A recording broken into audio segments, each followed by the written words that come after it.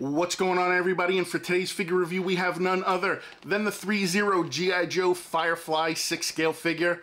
Let's go.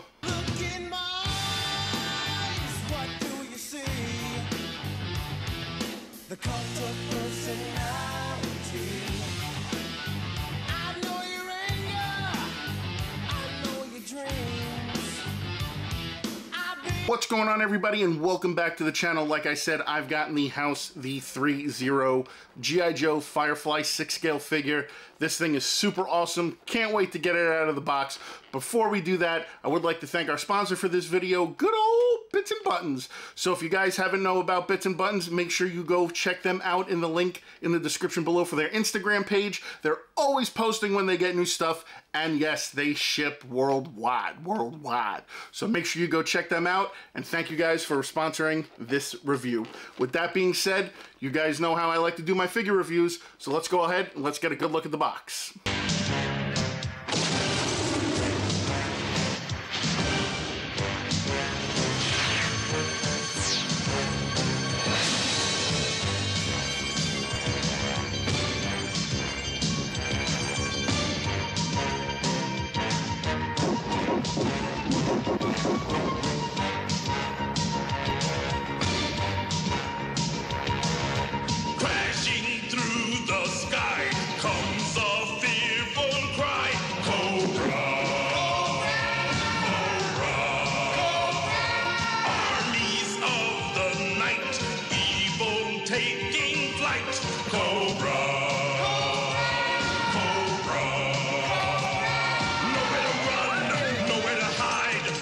Got a good look at the box, let's take a look at the actual spec sheet so you guys can see everything that it comes with. Um, goggles, submachine gun, a pistol, a combat knife, biochemical bomb, a time bomb, hand grenades, a bunch of hands, a backpack, and magnetic detonators, which is really cool.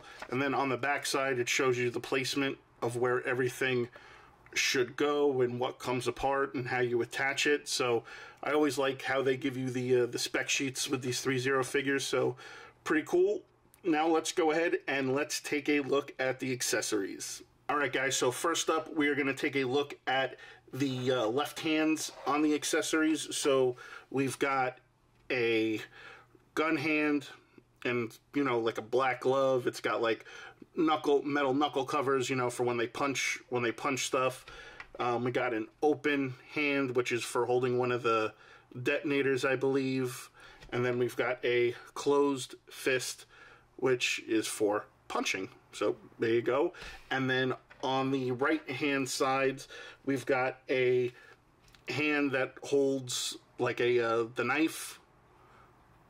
We've also got another closed fist, and then we also have a gun hand on this one as well. So pretty cool with the hands. Then we've got this really cool looking backpack that has a whole bunch of like devices and gadgets and looks like uh, you know uh, dynamite on there and a radio and some stuff so this actually slides on the back and we'll show how that goes on in a few minutes when we get to the figure but really nice detail on that super cool there we get a the bomb dynamite got like a little punch code would be cool if they were ever to get like batteries in this thing and like the, uh, the, the keypad and everything would light up. I think that'd be cool, but really great detail on that. That's cool. Here's like the what they called the biological or chemical weapon. Kind of looks like uh, you know the uh, the TCRI uh, ooze from Ninja Turtles, but really nice detail there. And then we get this really badass uh, submachine gun. Now the clip stays in; it doesn't come out. However, the stock does fold back and forth, and there is a actual silencer that's in the other set accessories that we'll go over in a second that actually slide on the muzzle. So that's really cool. Um, I, I, do always like though the little details, especially when the magazines do come out and you can see like the, the bullets painted in there. But in this instance, this one doesn't come out. But they did a really good job on this gun. It's really cool, and I like the uh, the foldable stock. So let's go ahead now and let's pull out the rest of the accessories. All right, now we here we are with the other set of accessories. Here are the night vision goggles. Again, really nice detail on that. Paint app on this is really cool. Um, just be mindful of when you're going to put this on the portrait. You got to be careful because these are not elastic. This is all plastic, so you don't want to run the risk of ripping it and tearing it. But cool on those. Next up, we get the knife. Now, really nice detail on the knife. I like the silver. I like the contour that they did of the blade. So really nice job there. Also get seven of these little hand grenades, which are really cool detail. Um, just for me, I would have liked to see maybe if there was a way maybe they can add like a small pin in there so like you can you know you can pull it out but again you know you make do with what you got you know these are pretty small so i'm sure they're limited to what they could do but really cool on the grenade so remember you get seven of those here is the thermal detonator. Now, keep in mind you do only get two of these, but again, really cool detail. So I like that a lot. You push the button, everything blows up, but solid paint on that. And again, you get two of these. Then here is the silencer that actually goes on the gun. So here, let me bring back in the gun and we'll plug it in there. And it just plugs plugs right in like that. So now it's gone from loud to silenced which is awesome. And again you got that really cool foldable stock. So you can have the option of leaving the silencer on or leaving it off. So again really cool job on that. And they did a good job on the gunmetal with that, and you can see got a little bit of like uh, you know porting and stuff in there. So really, really cool job on that. And then last but not least, you get this cool pistol. So another, you get another gun. Um, again, you know, magazine doesn't come out. This slide doesn't go back, but still really nice detail. You got the nice black grips on there. You got the gunmetal color. So really nice job on the pistol. So with that being said, that's basically it for the accessories. Uh, let's go ahead and take a look at the figure. Alright guys, and here is a look at the figure and super cool. I love this color camo.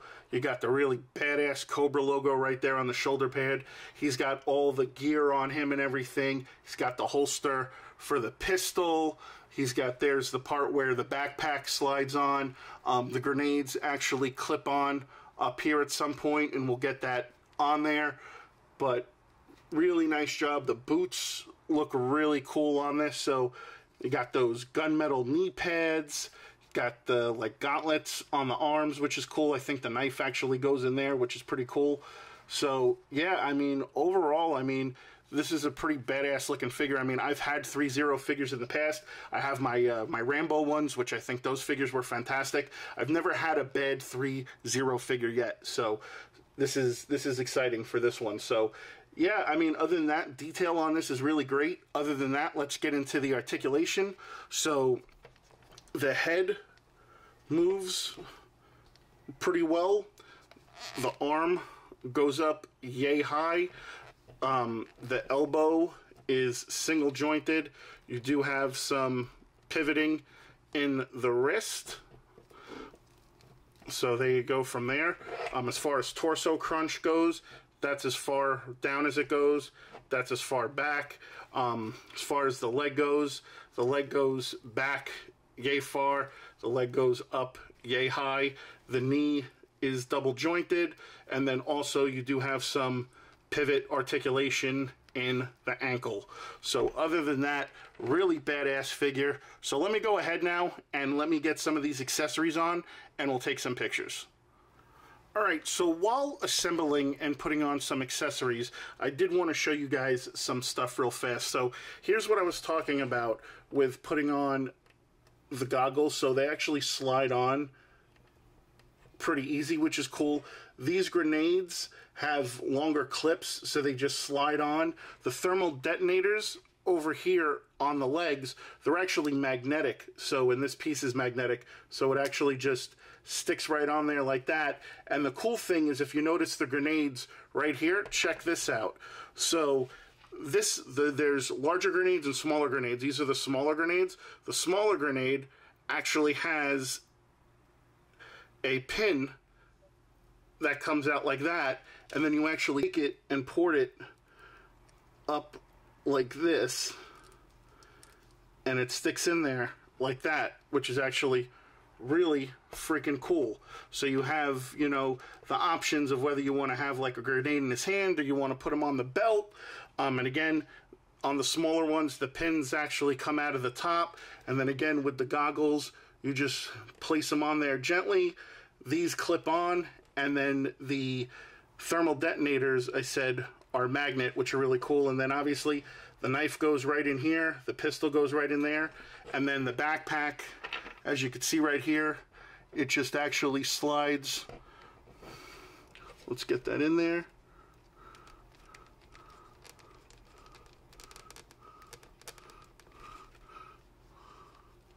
Which way does it go in?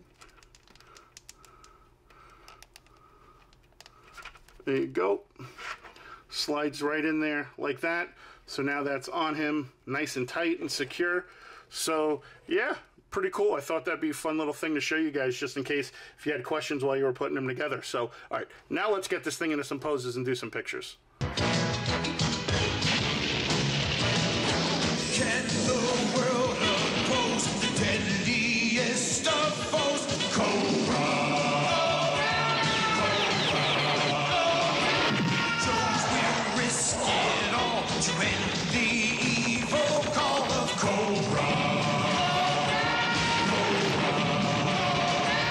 Guys, so final thoughts. Another badass figure from Threezero. Like I said earlier in the video, I've never had anything bad to say about the Threezero figures. I've always thought they've been great. The accessories that they've always come with are extremely awesome. The articulation's great. The outfits are great. The materials are great. Again, nothing bad about a Threezero figure. And if you guys are into G.I. Joes, I highly suggest you pick up this line of G.I. Joe figures from Threezero with the 6 scale because they are freaking phenomenal. So great figure highly enjoy it will go great in a any gi joe collector's collection so keep that in mind.